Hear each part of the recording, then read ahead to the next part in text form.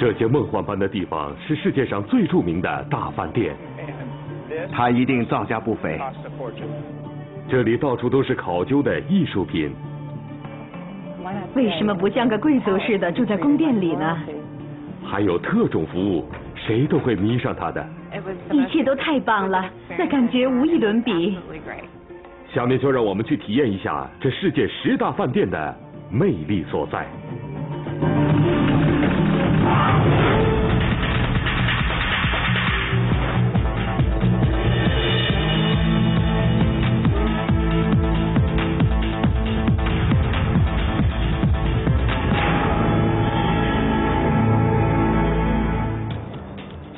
们在世界各地寻找最好、最气派、最奇特的大饭店。不论你的兴趣是在美食上，还是想出来散散心，我们都有最好的饭店介绍给你。让我们从模特麦克尼特所在的迷人海滩开始倒数这十大饭店。南部海滩是最好玩、最性感的。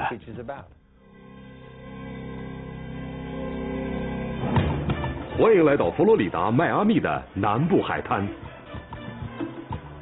我们喜欢这儿。沙滩上最迷人的是女孩们美丽的身体和古铜色的皮肤。嗯。但当意大利服装公司迪希尔来这里发掘新秀时，他们设计了另外一道闪亮的风景线。橄榄鸟大饭店。几年前，迪希尔公司的人来到这儿，他们是知道迈阿密海滩的，他们深深爱上了这个地方，他们充满了活力、激情和创造力。他们说。让我们做点什么吧。于是就有了这个大饭店。饭店的一切都不同寻常。找大厅吗？这儿可不是，这儿是迈阿密嬉皮士酒吧。到招待那儿去登下记，别忘了拿杯饮料。而嘎拉鸟大饭店的二十六个房间也像嬉皮士酒吧那样酷极了。橄榄鸟就像是迈阿密的缩影，它有趣、性感、多姿多彩、充满活力。它是南部海滩重要的一部分，它使南部海滩闻名遐迩。为了装饰这些房间，迪希尔的设计者们用了众多的废品废料，在我们看来，他们简直就像是捡破烂的。那些艺术品来自完全不同的地方，有跳蚤市场。也有古董店搜集来的，我们专找那些怪异、有趣、新奇的东西，我们收集它们，感觉、观察、触摸它们，然后再把它们组合起来。每个房间都与他们的名称相匹配，从六十年代的执行官到你现在所看到的这个斑马套间。到这儿来可得站稳了。三零九号梦幻女孩已住进了一对澳洲新婚夫妇彼得和莎拉，让我们来听听他们的感受。我们对饭店的第一印象是，哇，真漂亮！我们都注意到了这里的一些细节，我们喜欢那些细节部分。我们一进房间就感到了他们那特有的魅力。我想，这也是最吸引我们的地方。而且整个饭店的设计也独具魅力。啊，我们太喜欢这种火柴了，太酷了！我收集了几个。如果你还嫌不够热，那就来看看这间淘气的小秘密。多米尼克和乔纳森住在这儿。这是我见过的最漂亮的房间，他们称它为高级妓院。我们正在度蜜月，所以就选了这个房间。我喜欢这种天鹅绒，我觉得它很性感，所以就选了它。只要愿意，你可以在这儿住上一个星期，每天换一个房间，每晚都在不同的环境里。如果想省钱的话，可以选顶层，那绝对是迈阿密最好的顶层房间。很多人都称它为詹姆斯邦德顶层。要知道，在同色墙里，我们镶有圆形盐水鱼缸。房间里有五十五寸全屏彩电，可以用遥控器遥控这些电器。主卧室里有张圆形大床。这儿有许多好玩的。顶层的设计风格各不相同，这只是其中的一种。作为这个星球上的梦幻之地和嬉皮士饭店，嘎兰鸟被排在我们十大饭店的第十名。下面继续我们的排名。说到庄园，没有比这儿更有英国味的了。这就像是住在一个英国人的私人庄园里。英国伦敦，这是个皇家成员与各种纪念碑随处可见的繁华大都市。但如果这种繁华与喧闹不合您胃口的话，那就赶快到伦敦郊外九十英里处的休顿格林大饭店去。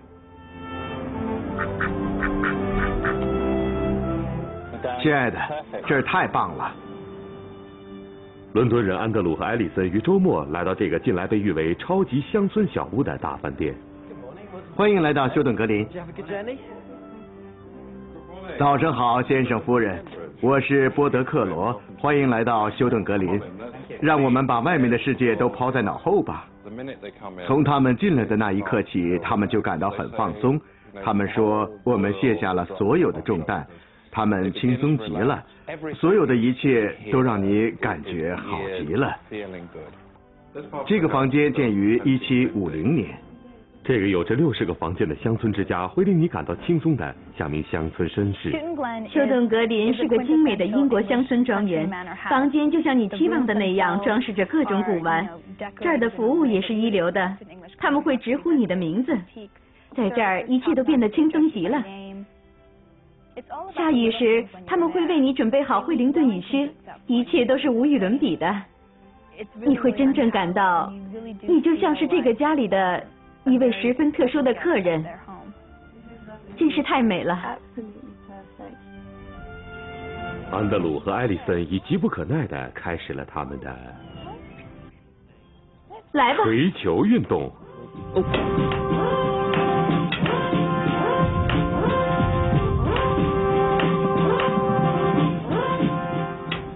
哦亲爱的，打得非常好。当然，没有英国人会错过每天下午的茶点时间，更何况休顿格林大饭店的茶点更是做的精美无比。呃，我能放开吃吗？可以。三明治味道不错。到海边有多远？我想最多只要十分钟。哦，太好了。如果对吃茶点不太感兴趣，那就骑上自行车去周围转转。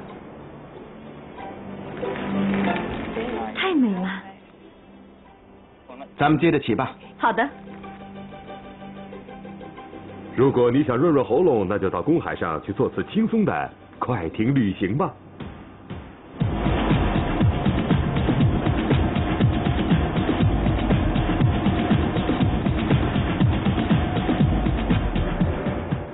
玩了一天，现在艾丽森和安德鲁决定到被誉为欧洲最好的温泉休顿温泉里来解解乏。而这里有皮埃尔厨师做的绝佳乡村菜肴。人们从英国和世界各地来到这儿，他们希望体验这儿的一切，包括餐馆里味道绝佳的酒和食品，而且价格合理。你去休顿格林那里享受一切，有健身温泉、体育活动，那里应有尽有。如果你酷爱美食，去休顿格林也绝无问题。皮埃尔的厨艺是世界上顶级的。休顿格林什么都是最好的。要知道，我也想从各方面使它尽善尽美，不管是食物方面、服务方面，还是在其他各个方面。以其优雅的乡村环境和一流的友好服务，伦敦郊外这世外桃源般的休顿格林大饭店被名列我们榜单里的第九名。我们第八名的大饭店更是与众不同，房间都是意大利式的，而且以赌博著称。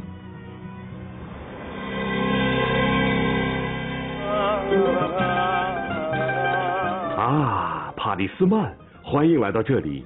在情侣贡多拉上飘过浪漫又悠闲的一天。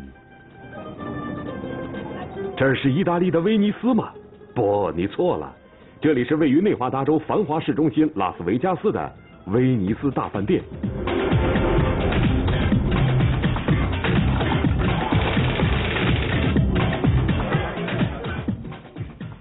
加上这意大利式的灯光照明，威尼斯大饭店堪称是所有赌博饭店里的教父了。但唯一能使他在拉斯维加斯永处不败之地的办法，就是摧毁了重建一个。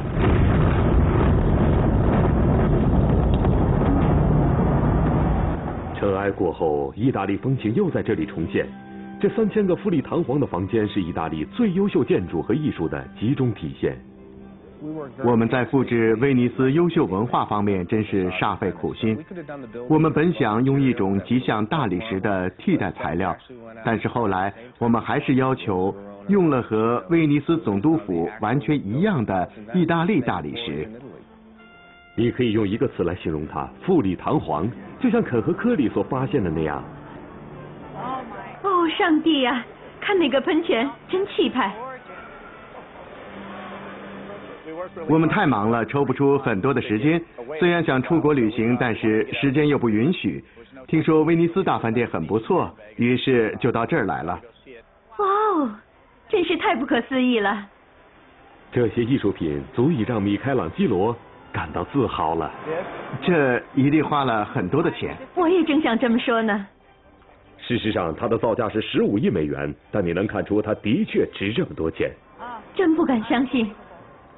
我们想创造再造威尼斯的浪漫，并把它与贝弗利山的华贵结合起来，于是就同时有了浪漫、华贵和刺激。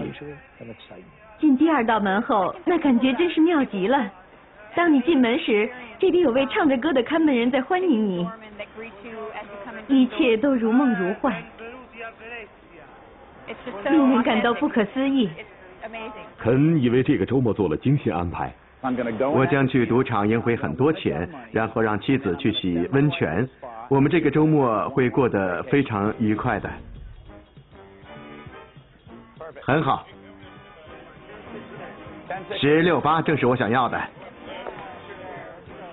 哦，我的钱输光了，我需要钱。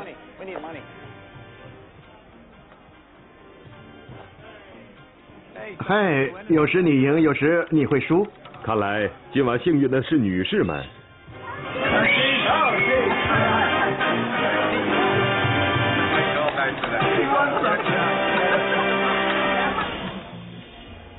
夫人，你要去的是温泉甜蜜一号室，就在那边拐角的地方。这里是牧场峡谷温泉，不过凯莉可不是来攀墙的，她要放松一下。感觉怎么样？很好。牧场峡谷温泉是拉斯维加斯最好的温泉。我想部分原因是由于我们的设施十分齐全，服务项目广泛。在拉斯维加斯，没有哪个地方能与牧场峡谷温泉相提并论。和真正的威尼斯一样，大饭店同样有着数不清的商场在从你的口袋里掉里拉，还有十六家不同的餐馆满足人们不同的口味。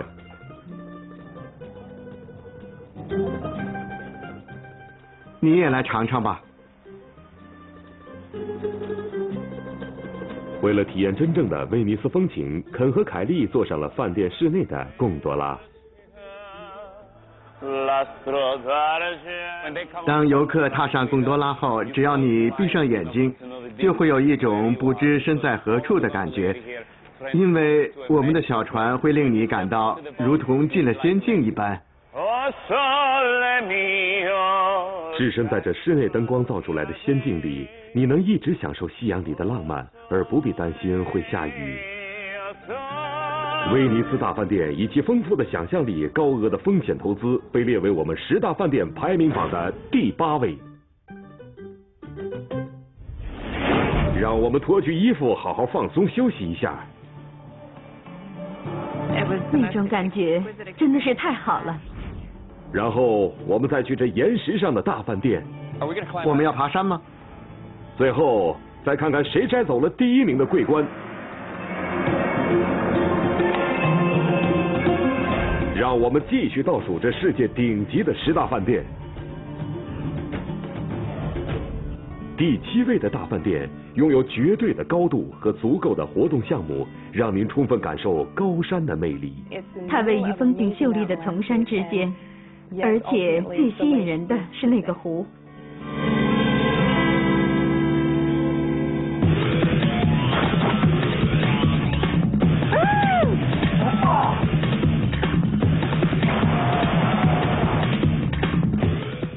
路易斯湖城堡位于加拿大山区班夫国家公园的中部，它绝对是公园里的一颗闪烁的明珠。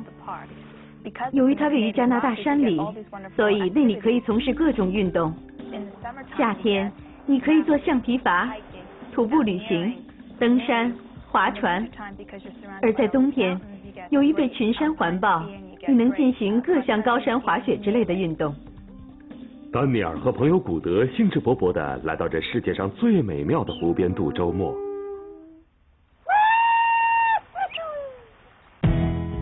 我们只是想，只是想走出城市，到一个能让人冒险的地方去。路易斯湖城堡真是再适合不过了。要爬过那座山吗？这些男人追求的是令他们心跳刺激的运动，而这一切，路易斯湖城堡全有。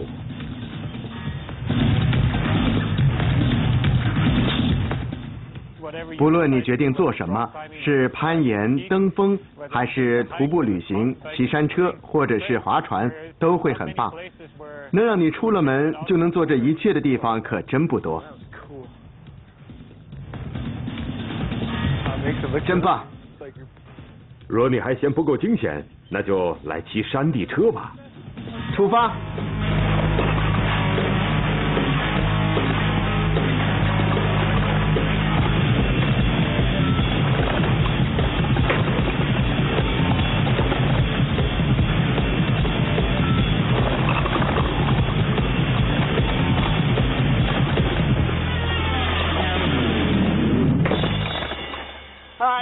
嗯，先生们，我算没戏了。接下来还有些时间，让小伙子们来到这洁净的路易斯湖上。路易斯湖的尽头是维多利亚山，山上有维多利亚冰川，正是冰河运动把岩石粉碎成了岩岩，湖水才会如此碧绿。你身处地球上风景最美的地方，当你走出饭店大门，映入眼帘的就是那绿茵茵的湖水，这真是太好了。激烈的运动过后，丹尼尔和古德准备回饭店凉快凉快。就像野营一样，只不过晚上你要回的不是帐篷，而是这舒适美观的套房。这两种生活的好处你都得到了。何况饭店的装修同样毫不逊色。我想，路易斯湖城堡对那些酷爱出门旅行又喜欢出门时享受一流服务的人来说，真的是再适合不过的了。将食宿与冒险完美结合起来的路易斯湖城堡，被列为我们排行榜的第七位。排名第六的大饭店，对于旅行的一家人来说，就像是个热带天堂。如果你去夏威夷，那儿便是最好的住处。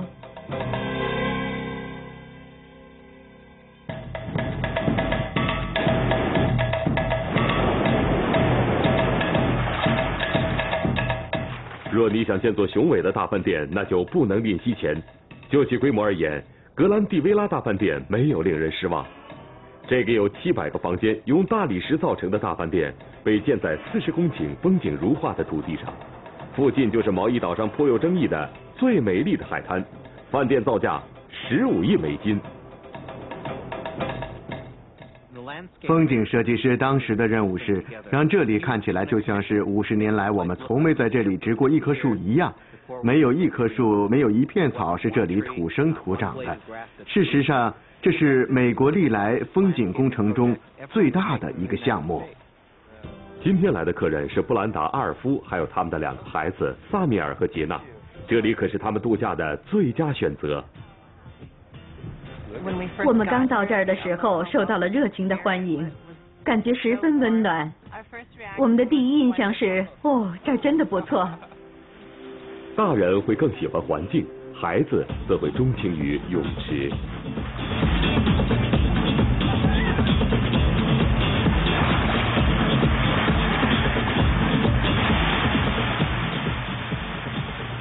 孩子们都很喜欢温泉水滑道，我觉得那确实非常的刺激，绝对容易上瘾。也并非所有泳池都那么刺激，当你想放松一下时，可以到专门的成人泳池去，但这多少令父母们感到为难，因为这时该拿孩子们怎么办呢？不用说，去儿童营地。格兰蒂营地每天都提供众多不同的娱乐项目，如手工制作、寻宝游戏、自然探奇、建城堡，还有呼啦圈课、做花环、扎染和陶艺等等。另外，格兰蒂维拉的温泉室还会向你推荐放松身心的好办法。处方是：你只需一个人、一大把盐，还有二分之一加仑的蜂蜜。这种方法。起源于薇拉的循环水疗法。薇拉的循环水疗法具体包括以下五种不同类型的特色疗法：有海藻疗法、天然盐疗法、芳香疗法，还有我们的热带酶疗法。另外还有沼泥疗法，只不过温度较低。每种疗法，顾客都得泡在里面。这种疗法叫阿丽丽蜂蜜蒸浴。在阿丽丽蜂蜜蒸浴中，他们会在你身上轻轻涂层盐，然后在你全身倒上温暖的蜂蜜，慢慢摩擦，让蜂蜜渗入肌肤，然后给你围上条毯子，把你带到蒸汽室去，这样你身上的蜂蜜就会完全渗入皮肤。这种办法能有效的滋润你的肌肤。在布兰达接受涂抹时，阿尔夫也在接受按摩。开始时是在全身边浇印第安油边轻轻的按摩，两名技术人员会在身体两侧同步进行，然后是在前额的正中间浇一种叫 Shiro 的油。这种独特的疗法能帮助人们保持身体和心理上的平衡。感觉很光滑，很镇静，放松极了。每个人一生中至少都该尝试一次。这是我经历过的最高雅的享受，真太不可思议了。父母已经放松好了，孩子们又怎么样呢？看来他们一点都不想家。但如果你真想给家人留下深刻印象，为什么不多掏一万块住的宽敞些呢？大饭店的豪华套房有五千五百平方英尺。房间里有钢琴和与您作为高贵消费者相称的卧室，但无论你住哪儿，观赏风景都是免费的。何况这里的日落如此绚丽。以其巨大的规模为家庭提供娱乐的格兰蒂维拉大饭店排名第六。让我们再来看一下印尼大饭店。在这儿你是看不到众多喧闹的游客的。此饭店最适合女王住了。当你走进大饭店，会觉得自己像个贵族，这一点也不夸张。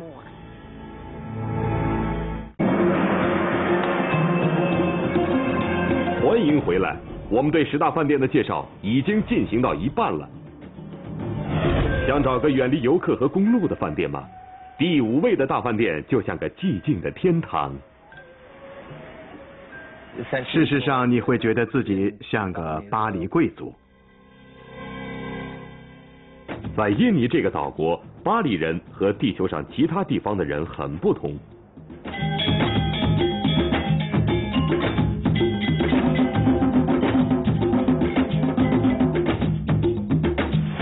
建在悬崖上，能直接俯瞰到大海的这个大饭店，叫做阿蒙基拉或和平山。如果说沉默是金，那阿蒙基拉就是块二十四 K 的金子。阿蒙基拉很独特，因为它有一种梦幻般的奢华。我想每个人有时会很想纵容一下自己，但这是种巴黎人特有的方式，给你的感觉就好像是在自己的小天堂里一样。阳光下，几英里长的沙滩，翠绿的树林。与世隔绝的远景，所有这一切都属于你。我们的宗旨是隐蔽和舒适。我们只有很少量的房间，只有三十五间，每个房间有三个部分。屋外有视野很好的餐桌和写字台，卧室里有张豪华的大床，还有桌子、椅子，然后是一个特大的浴室。有浴缸、分开的淋浴、两个卫生间、两个梳妆台，还有许多椰木制品和干净整洁的毛巾。我们故意把饭店建得较小，这样就能更好的和客人接触。照顾到每个人的细节等各个方面，你会觉得这就是你的饭店，而这也正是我们的宗旨。饭店一圈都是相连着的游泳池，游泳池建在陡峭的山坡上，分上下三层，这很像是巴黎人那著名的梯田。这也是设计游泳池的思路所在。由于它长的看不到边，所以你会感觉池水是与大海相通的。与游泳池的恬静相比，大饭店的服务更是无可挑剔。这里的每位客人都有七个服务人员，他们能满足你的各种需求，无论那是什么。阿蒙基拉的菜谱融印尼特色与西方口味于一体，大厨师托比安德森。随时都准备着满足您的任何要求。我们为客人做许多特殊的菜，无论他们要什么，那是些菜谱上没有的菜，我会走到客人面前问个明白。对洛杉矶人拉尔夫来说，晚餐时间真是再惬意不过了。从我们一到这儿。也不知是怎么回事，只是觉得所有的工作人员，从总经理到为你准备食物的人，到那些服务生，到海滩上游泳池，还有花园里的服务人员，所有这些人都理所当然的视你为这个大家庭中的一员。天空这么美，海水这么蓝，那感觉真是太惬意了。阿蒙基拉大饭店以其无与伦比的巴黎风情和远离尘嚣的幽静而名列第五。排名第四的大饭店将使你享受到皇室般的礼遇。饭店本身绝对豪华，镀金和纯金的装饰令你体会到一种欧式的华贵。法国巴黎，一个名副其实的不夜城。这儿是情侣们心目中的天堂。每个坠入爱河的人都会来巴黎的。我带妻子来到这里，因为这是世界上最浪漫的地方。对希望享受皇家般待遇的蜜月中的人们而言，金利伦大饭店是再适合不过了。要享受皇室般的礼遇，金利伦大饭店该是首选。该饭店赫赫有名，1758年由国王路易十五所建。曾有大量法国贵族，包括玛丽·安托瓦内特再次下榻。这儿就是金利伦饭店声名显赫的休息室。当年玛丽·安托瓦内特就是在这儿接受音乐教育的。我身后挂毯上的中间那个人就是玛丽。音乐声传入美国夫妻朱丽叶和汤姆的耳朵里。此前他们从未度过蜜月。但这次周年纪念日，他们却打算以巴黎人的方式庆祝一番。我一直梦想着来巴黎，这儿比我想象的还要好。我们等这一天已经等了五年。当你进到这里，你会觉得自己就像是个贵族。路易国王虽已远去，但他那奢华的皇家装饰却被保留了下来。如今，金利伦大饭店已归泰丁格香槟酒家族所有。当你在享用香槟酒的同时，你还会感到众多别的东西。金利伦大饭店最适合那些喜爱文化艺术、历史和在一个浪漫环境里尽情享受夜生活的人们。大饭店交通便利，出去观光十分方便。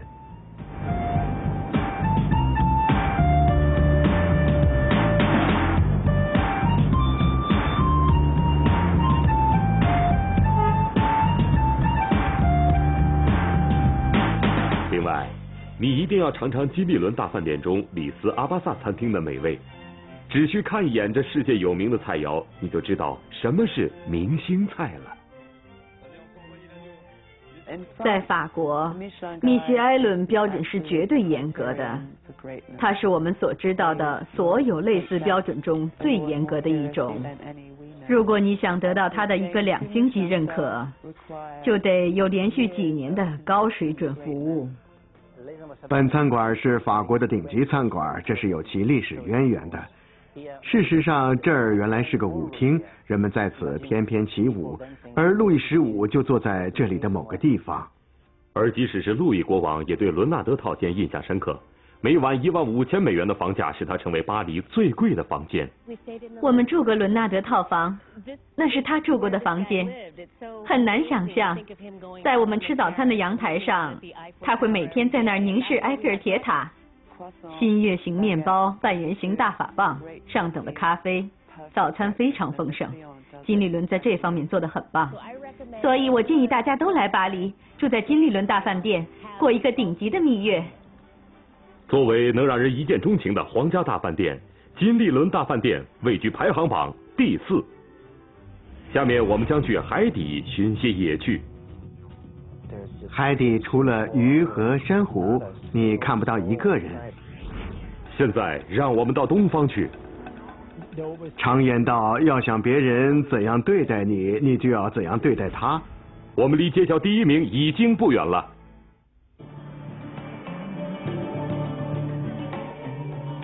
让我们继续十大饭店的排名。排名第三的大饭店有着神奇的海底娱乐世界。这是个感性的世界。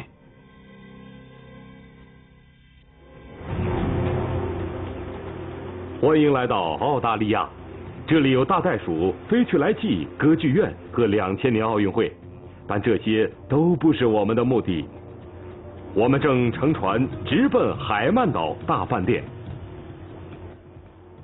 海曼岛大饭店被建在澳大利亚海岸线上，离大堡礁很近。正是它的地理位置吸引来了大批的游客。最近，它已被评为世界上最好的度假胜地。海曼岛是个顶级的独岛旅游胜地。岛上的人要么为大饭店工作，要么就是大饭店的客人，这就使人觉得这里既隐蔽又唯我独尊。我是说，它就是你的岛，而这就是你的房间。这是个英式的顶层房间，有时你会感到奇怪，虽然这里远离昆士兰，但是房间却有种英式庄园的味道。这里所有的东西都是从大庄园主、拍卖场和古董商那儿买来的。纽约人弗莱德·威伯格以前从未潜过水。饭店方面甚至能做到，无论你想要什么，他们都会想方设法满足你，而且他们以此为乐事。每个人都面带微笑，只要你能想到，他们就能为你做到。而弗莱德正准备去参加在澳大利亚大堡礁举行的潜水活动。做好了，弗莱德，注意看下面的美景。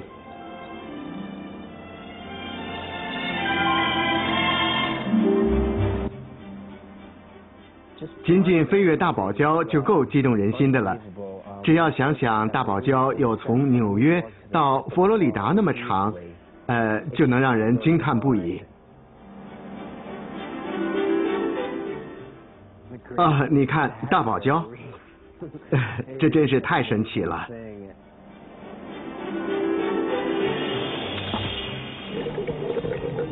哦，海底真是太神秘了，只有鱼和珊瑚，周围是那么寂静，除了我们几个，再没有别人了。你还能要求什么呢？你可以随时来这里，来多少次都可以。每次你都会看到不同的风景，你会慢慢开始看到一些小东西，如海马、海龙、珊瑚虫等等，各种各样的鱼和珊瑚，还有一种失去了重量的漂浮感。周围的景物在不停变换，时间好像在这一刻似乎停止了。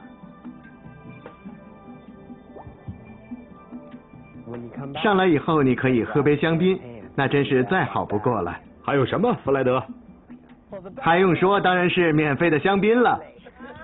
当然，并非只有大堡礁才能娱乐，海曼岛上可玩的多着呢。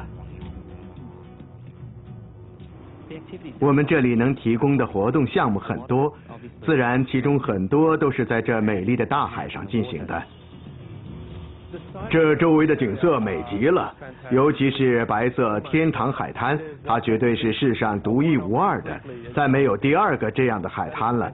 这片梦幻般的海滩吸引来了无数的游客，岛上我们有爱看游泳池，几乎每本导游小册子都会提到它。人们很爱来这儿游泳，因为它充满了梦的色彩。海曼就像是人间天堂。几乎我们在不清楚自己想要什么之前，他们就已经知道了。呃，房间、设施还有食物，所有的一切都无与伦比。由于他把澳大利亚壮美的大堡礁推向了一个新的高度，海曼岛大饭店高居我们排行榜的第三名。第二名则同时有着东方与南亚的独特魅力。无论何时，你看世界上最好饭店的名单，曼谷的东方大饭店都会被排在最前面。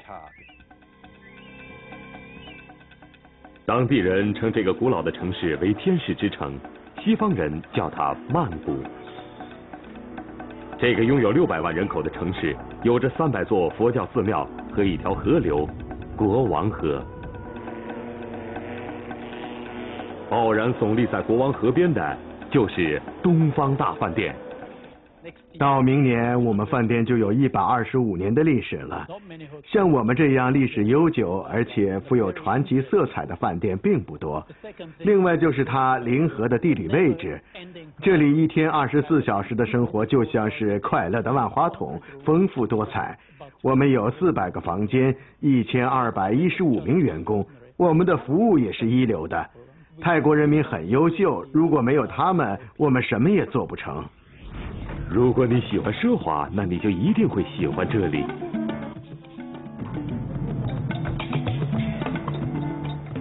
早上好，先生，旅途愉快吗？呃，尽管远，但很愉快。热衷美食的马克一进饭店就受到了热情接待。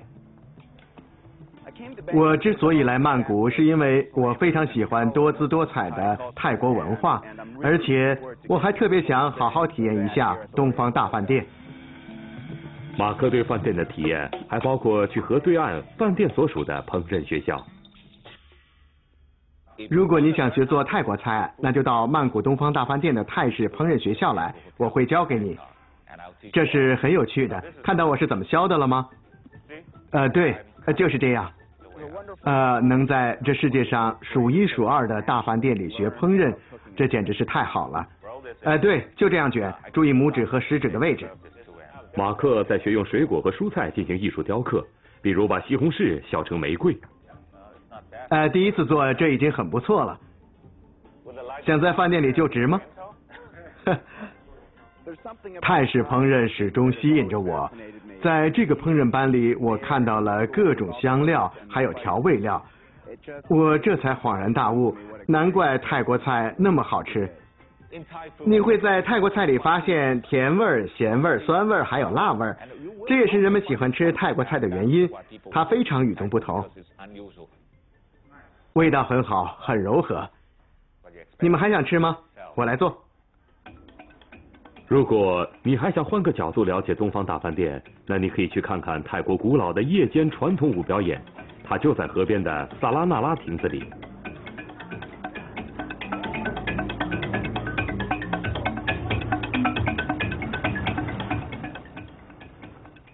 如果有人要我快速说出世界上最好饭店的名字，我想我第一个脱口而出的就会是曼谷的东方大饭店。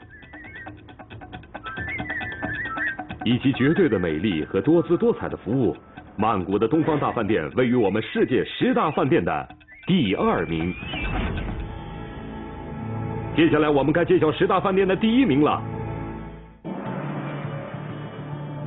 欢迎回来，我们已带您周游全世界，领略了这世上最高水准、最优雅、最奢华、最具娱乐性的大饭店。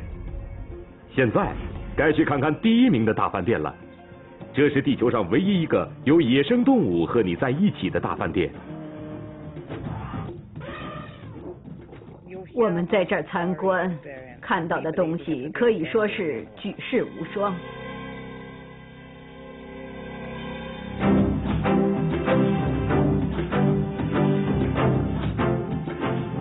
南非，如果你想看到最多的大型野生动物。如果你想了解大自然中动物间的食物链关系，那就来这里吧。在这一望无际的荒原里，坐落着一个人类与动物们的共同天堂，它就是马拉马拉大饭店。在马拉马拉，无论你是住在饭店里、森林小屋里，或者是随便什么地方，护林员都会把你看成是他自己的客人，自始至终都会很好的照顾你。大饭店的所有者麦克和诺玛雷特里已在马拉马拉居住五十年了。在被制裁的那段日子，没人来这儿。那时跑比生意真不容易，很长时间都没人来。但种族隔离过后，马拉马拉被南非总统曼德拉授予世界最佳饭店荣誉，从此一切都变了。曼德拉总统来了，这真是太棒了！从此，世界各地的人开始来到南非。与世隔绝的马拉马拉大饭店，最主要的部分建在沙河岸边。这里有一系列各自独立的精美茅草屋，精心修剪过的草坪，而且保护区内一次只许进五十个人。就像朱莉和杰弗瑞，他们是和护林人皮埃尔罗斯一起来看动物的。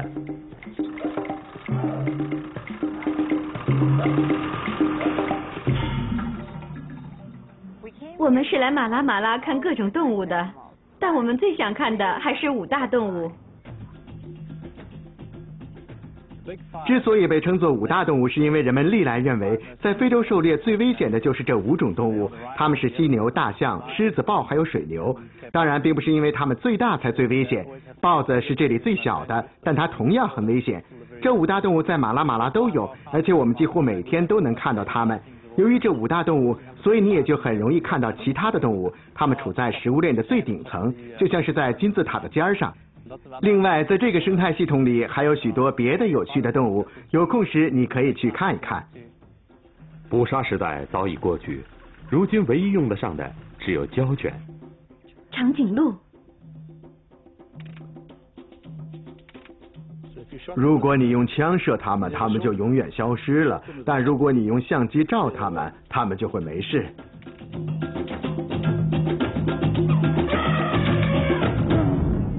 在皮埃尔开车时，驯兽人吉姆马布贝拉四下寻找着野生动物。驯兽人坐在后面，他的位置较高，很容易发现动物，而且他也很清楚自己要找哪种动物。作为护林员，我主要管开车。我看着路面，发现线索就和他商量。我们俩配合着找动物，找尽可能多的动物。我能听出各种动物的惊叫声，尤其是猴子和狒狒的。如果听到它们在叫，我就知道一定是它们遇到了豹子或是狮子。呃，当我们赶到时，嘿，它们果然在那儿。这儿就像是个没有恐龙的侏罗纪公园无论白天夜晚，你都能出来接近动物们，感觉好像很危险，其实却很安全，这真令人兴奋。我觉得最激动人心的时刻是看到小狮子的时候，我们四处寻找，跟着这些母狮子，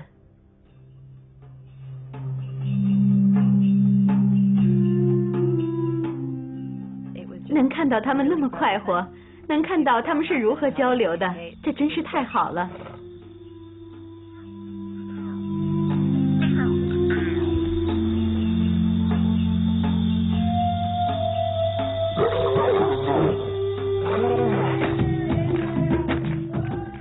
告诉我们晚餐时间到了，这是马拉马拉传统的聚会方式。饭店中的每个人都聚在这里共进晚餐，彼此交流着一天的见闻。像马拉马拉这样的地方，一定得格外注意准备大量的食物。你一定会迷上那儿的。那儿没有餐馆，所以马拉马拉的食物一定得格外的好。晚餐时的娱乐表演也很精彩。这儿没有电视机，他们唱的是南非传统的民间歌曲。一位妇女坐着越野车来这儿玩，离去时却哭了，那便是对我最好的褒奖。我想每个人都该来这儿一次，它将改变你的生活。我还会来的。帮你找回人性中最纯真的一面。马拉马拉是我们排行榜里的第一名。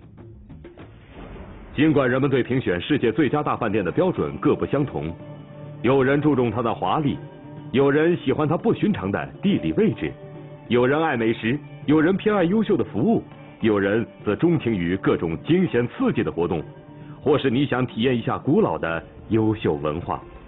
但不论你想要的是什么，你都会在这十个顶级大饭店里找到他们。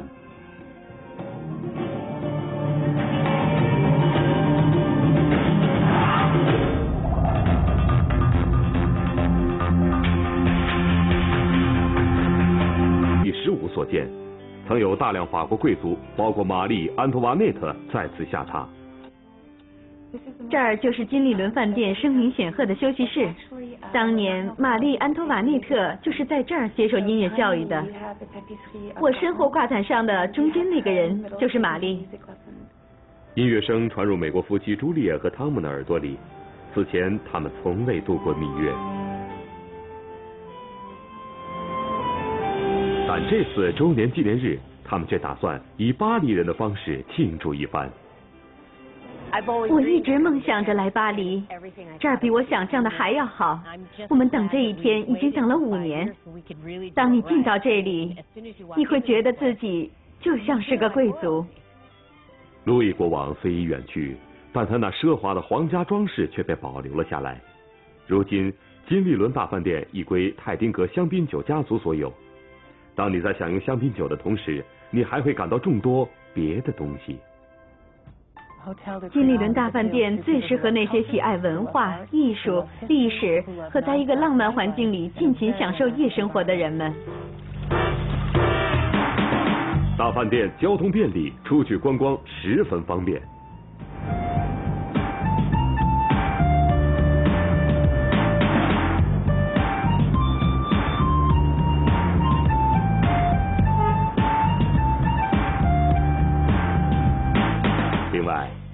一定要尝尝金利伦大饭店中里斯阿巴萨餐厅的美味。只需看一眼这世界有名的菜肴，你就知道什么是明星菜了。在法国，米歇埃伦标准是绝对严格的，它是我们所知道的所有类似标准中最严格的一种。如果你想得到它的一个两星级认可，就得有连续几年的高水准服务。本餐馆是法国的顶级餐馆，这是有其历史渊源的。事实上，这儿原来是个舞厅，人们在此翩翩起舞，而路易十五就坐在这里的某个地方。而即使是路易国王，也对伦纳德套间印象深刻。每晚一万五千美元的房价使它成为巴黎最贵的房间。我们住过伦纳德套房，那是他住过的房间。很难想象，在我们吃早餐的阳台上，他会每天在那儿凝视埃菲尔铁塔。新月形面包、半圆形大法棒、上等的咖啡，早餐非常丰盛。金利伦在这方面做得很棒，所以我建议大家都来巴黎，住在金利伦大饭店，过一个顶级的蜜月。作为能让人一见钟情的皇家大饭店，金利伦大饭店位居排行榜第四。下面我们将去海，就其规模而言，格兰蒂维拉大饭店没有令人失望。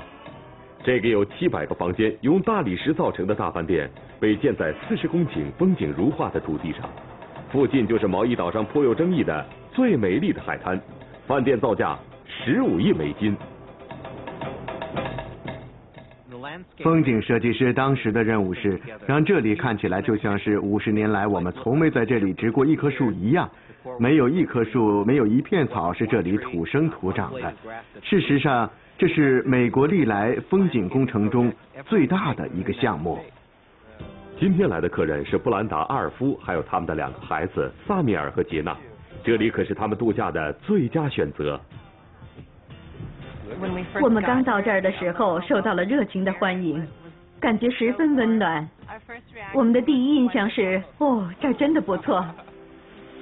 大人会更喜欢环境，孩子则会钟情于泳池。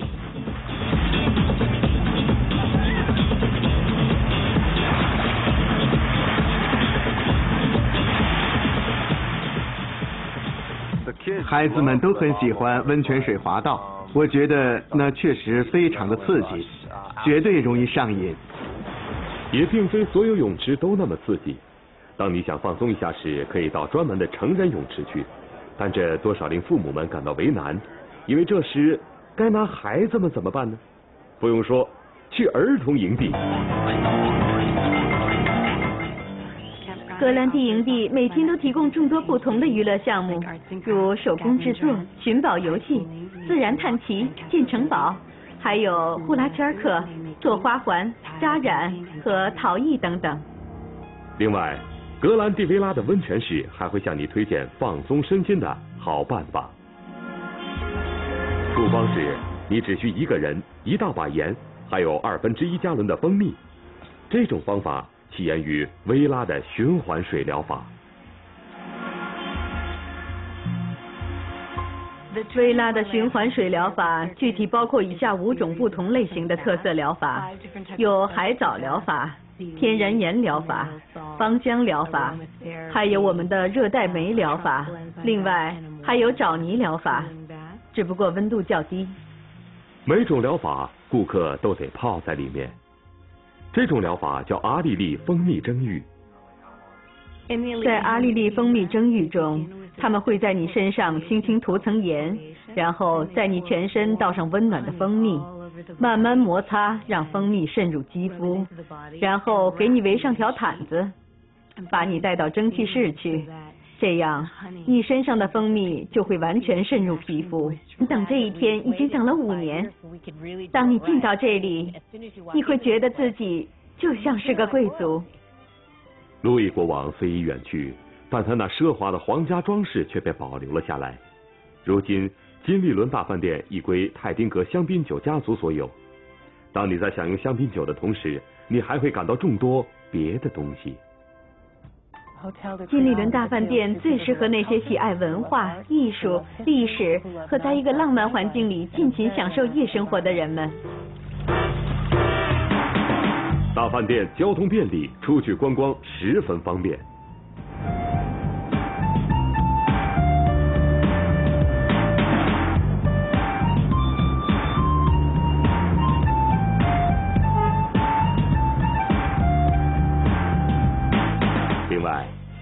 要尝尝金利伦大饭店中里斯阿巴萨餐厅的美味，只需看一眼这世界有名的菜肴，你就知道什么是明星菜了。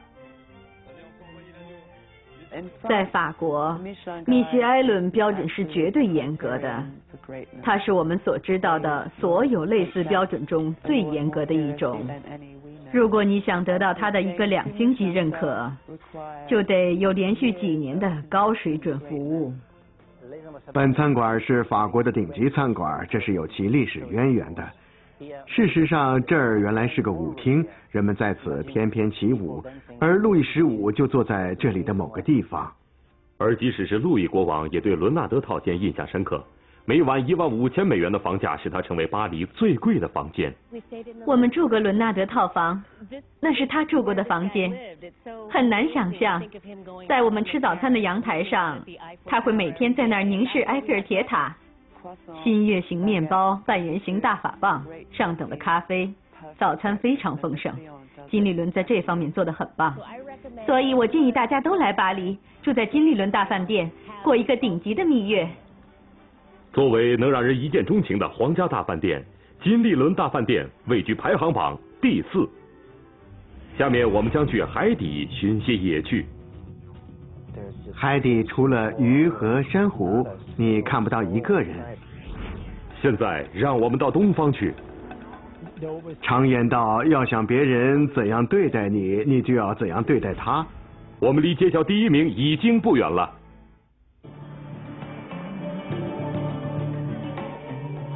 让我们继续十大饭店的排名。排名第三的大饭店有着神奇的海底娱乐世界，这是个感性的世界。就是玛丽。音乐声传入美国夫妻朱丽叶和汤姆的耳朵里，此前他们从未度过蜜月。但这次周年纪念日，他们却打算以巴黎人的方式庆祝一番。我一直梦想着来巴黎，这儿比我想象的还要好。我们等这一天已经等了五年。当你进到这里，你会觉得自己就像是个贵族。路易国王虽已远去，但他那奢华的皇家装饰却被保留了下来。如今，金利伦大饭店已归泰丁格香槟酒家族所有。当你在享用香槟酒的同时，你还会感到众多别的东西。金利伦大饭店最适合那些喜爱文化、艺术、历史和在一个浪漫环境里尽情享受夜生活的人们。大饭店交通便利，出去观光十分方便。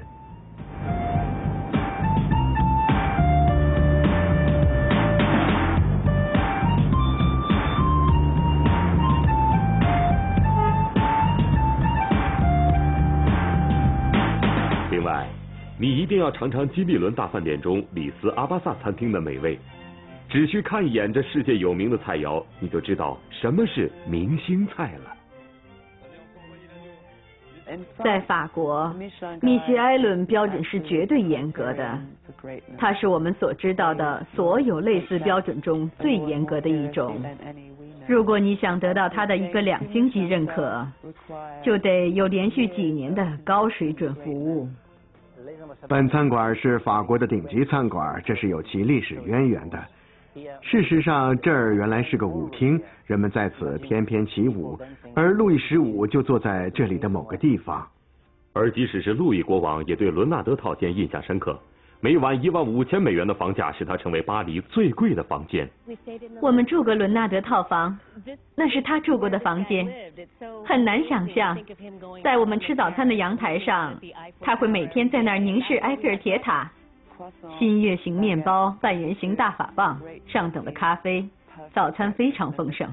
金利伦在这方面做得很棒，所以我建议大家都来巴黎，住在金利伦大饭店，过一个顶级的蜜月。作为能让人一见钟情的皇家大饭店，金利伦大饭店位居排行榜第四。下面我们将去海底寻些野趣。海底除了鱼和珊瑚，你看不到一个人。现在让我们到东方去。常言道，要想别人怎样对待你，你就要怎样对待他。我们离街角第一名已经的写字台，卧室里有张豪华的大床，还有桌子、椅子，然后是一个特大的浴室，有浴缸、分开的淋浴、两个卫生间、两个梳妆台。还有许多椰木制品和干净整洁的毛巾。我们故意把饭店建得较小，这样就能更好的和客人接触，照顾到每个人的细节等各个方面。你会觉得这就是你的饭店，而这也正是我们的宗旨。饭店一圈都是相连着的游泳池。游泳池建在陡峭的山坡上，分上下三层，这很像是巴黎人那著名的梯田。这也是设计游泳池的思路所在。由于它长的看不到边，所以你会感觉池水是与大海相通的。与游泳池的恬静相比，大饭店的服务更是无可挑剔。这里的每位客人都有七个服务人员，他们能满足你的各种需求，无论那是什么。阿蒙基拉的菜谱融印尼特色与西方口味于一体。大厨师托比·安德森随时都准备着满足您的任何要求。我们为客人做许多特殊的菜，无论他们要什么，那是些菜谱上没有的菜，我会走到客人面前问个明白。对洛杉矶人拉尔夫来说，晚餐时间真是再惬意不过了。从我们一到这儿。也不知是怎么回事，只是觉得所有的工作人员，从总经理到为你准备食物的人，到那些服务生，到海滩上游泳池，还有花园里的服务人员，所有这些人都理所当然的视你为这个大家庭中的一员。天空这么美，海水这么蓝，那感觉真是太惬意了。阿蒙基拉大饭店以其无与伦比的巴黎风情和远离尘嚣的幽静而名列第五。排名第四的大饭店将使你享受到皇室般的礼遇。饭店本身绝对豪华，镀金和纯金的装饰令你体会到一种欧式的华贵。法国巴黎，一个名副其实的不夜城。这儿是情侣们心目中的天堂。每个坠入爱河的人都会来巴黎的。我带妻子来到这里，因为这是世界上最浪漫的地方。对希望享受皇家般待遇的蜜月中的人们而言，金利伦大饭店是再适合不过了。要享受皇室般的礼遇，金利伦大饭店该是首选。该饭店赫赫有名一七五八年由国王路易十五所建，曾有大量。只有鱼和珊瑚，周围是那么寂静，除了我们几个。再没有别人了，你还能要求什么呢？你可以随时来这里，来多少次都可以。每次你都会看到不同的风景，你会慢慢开始看到一些小东西，如海马、海龙、珊瑚虫等等，各种各样的鱼和珊瑚。还有一种失去了重量的漂浮感，周围的景物在不停变换，时间好像在这一刻似乎停止了。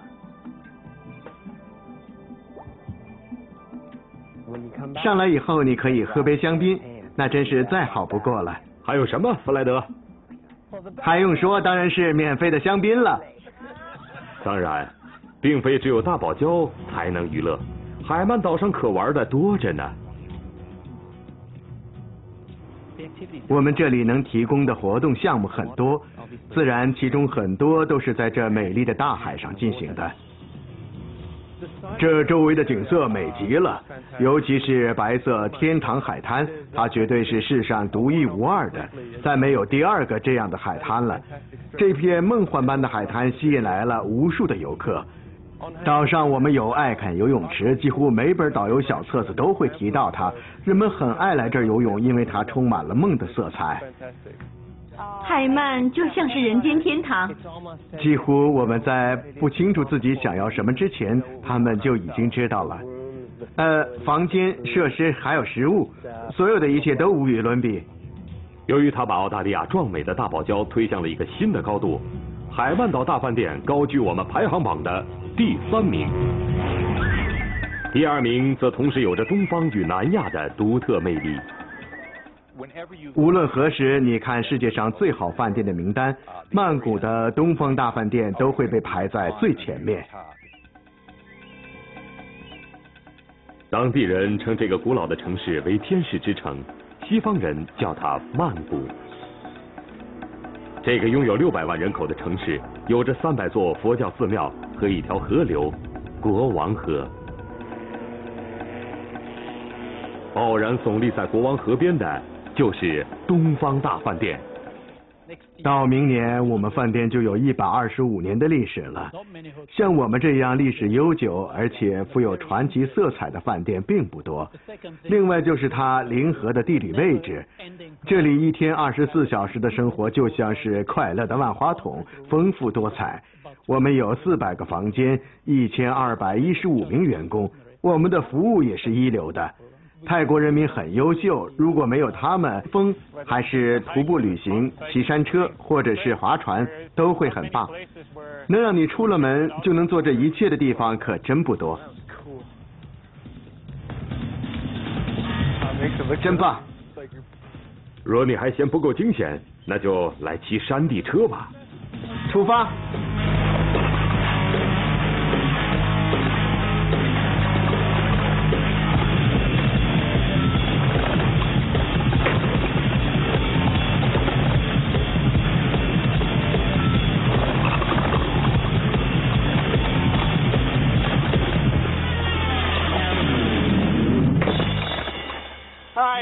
先生们，我算没戏了。接下来还有些时间，让小伙子们来到这洁净的路易斯湖上。路易斯湖的尽头是维多利亚山，山上有维多利亚冰川，正是冰河运动把岩石粉碎成了岩岩，湖水才会如此碧绿。你身处地球上风景最美的地方，当你走出饭店大门，映入眼帘的就是那绿茵茵的湖水。这真是太好了。激烈的运动过后，丹尼尔和古德准备回饭店凉快凉快。就像野营一样，只不过晚上你要回的不是帐篷，而是这舒适美观的套房。这两种生活的好处你都得到了。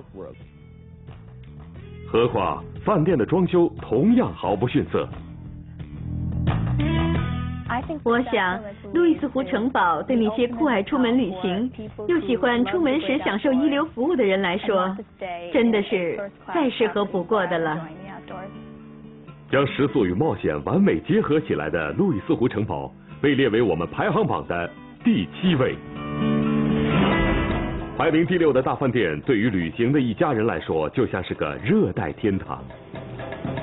如果你去夏威夷，那儿便是最好的住处。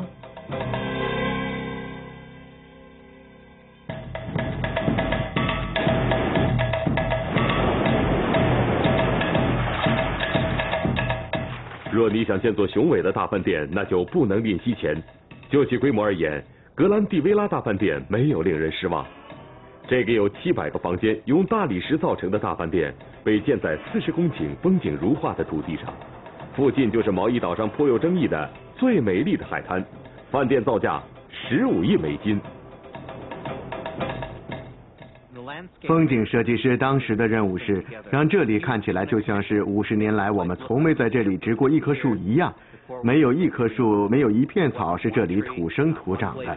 事实上，这是美国历来风景工程中最大的一个项目。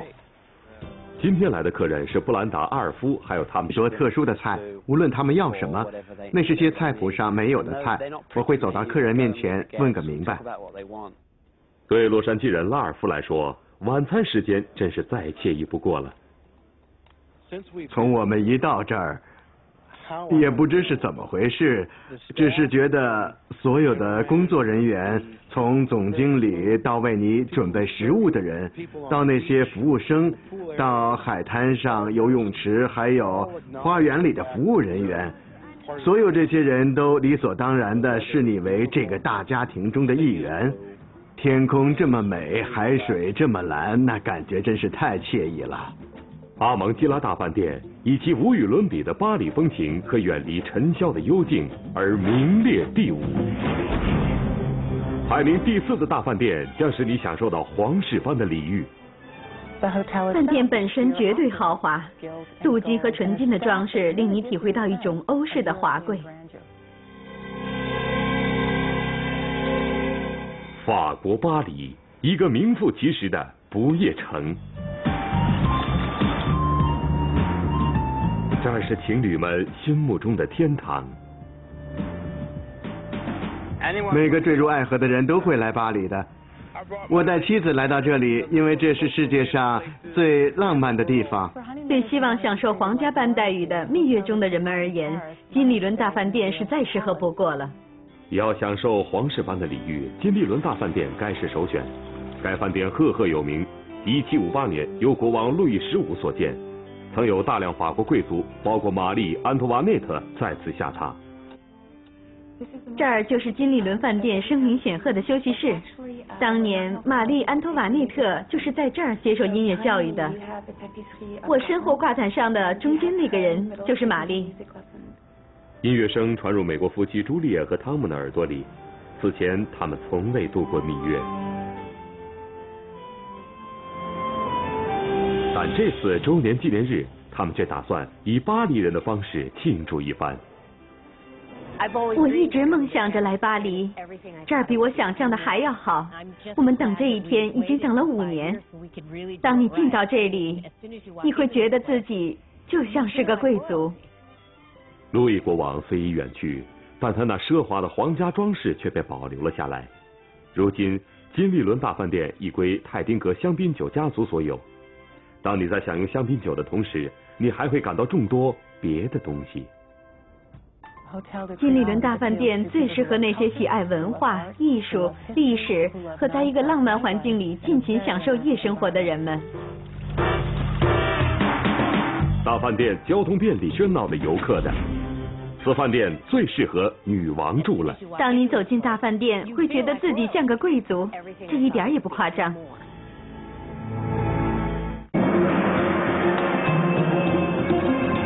欢迎回来。我们对十大饭店的介绍已经进行到一半了。想找个远离游客和公路的饭店吗？第五位的大饭店就像个寂静的天堂。事实上，你会觉得自己像个巴黎贵族。在印尼这个岛国，巴黎人和地球上其他地方的人很不同。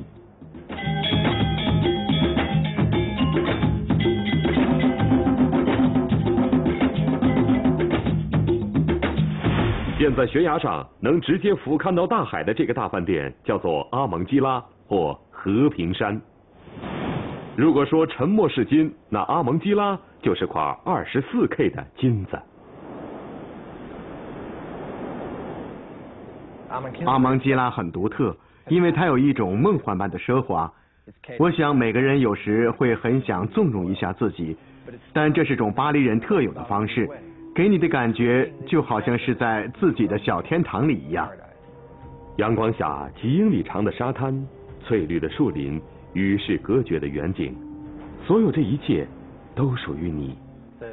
我们的宗旨是隐蔽和舒适。我们只有很少量的房间，只有三十五间，每个房间有三个部分。屋外有视野很好的餐桌和写字台。卧室里有张豪华的大床，还有桌子、椅子，然后是一个特大的浴室，有浴缸、分开的淋浴、两个卫生间、两个梳妆台，还有许多椰木制品和干净整洁的毛巾。我们故意把饭店建得较小，这样就能更好的和客人接触，照顾到每个人的细节等各个方面。你会觉得这就是你的饭店，而这也正是我们的宗旨。饭店一圈都是相连着的游泳池，游泳池建在陡峭的山坡上，分上下三层。这很像是巴黎人那著名的梯田，这也是设计游泳池的思路所在。由于它长的看不到边，所以你会感觉池水是与大海相通的。与游泳池的恬静相比，大饭店的服务更是无可挑剔。这里的每位客人都有七个服务人员，他们能满足你的各种需求，无论那是什么。阿蒙基拉的菜谱融印尼特色与西方口味于一体，大厨师托比安德森随时都准备着满足您的任何要求。我们为客人做许多特殊的菜，们把外面的世界都抛在脑后吧。从他们进来的那一刻起，他们就感到很放松。他们说我们卸下了所有的重担，他们轻松极了，所有的一切都让你感觉好极了。这个房间建于一七五零年。这个有着六十个房间的乡村之家，会令你感到轻松的像名乡村绅士。休顿格林是个精美的英国乡村庄园，房间就像你期望的那样，装饰着各种古玩。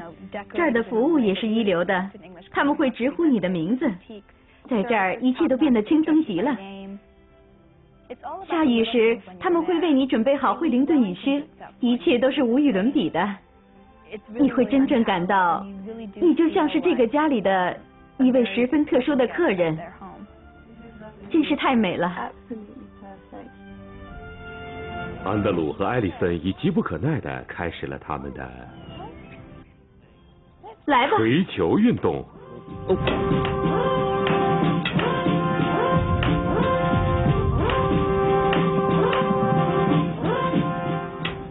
哦，亲爱的。打得非常好。当然，没有英国人会错过每天下午的茶点时间，更何况休顿格林大饭店的茶点更是做的精美无比。呃，我能放开吃吗？可以。三明治味道不错。到海边有多远？我想最多只要十分钟。哦，太好了。如果对吃茶点不太感兴趣，那就骑上自行车去周围转转。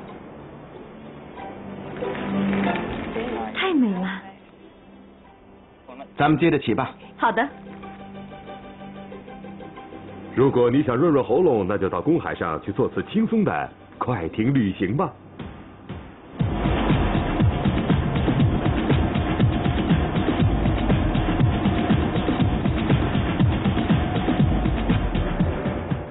玩了一天，现在艾丽森和安德鲁决定到被誉为欧洲最好的温泉休顿温泉里来解解乏。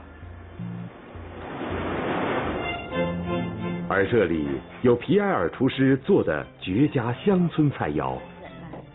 人们从英国和世界各地来到这儿，他们希望体验这儿的一切，包括餐馆里味道绝佳的酒和食品，而且价格合理。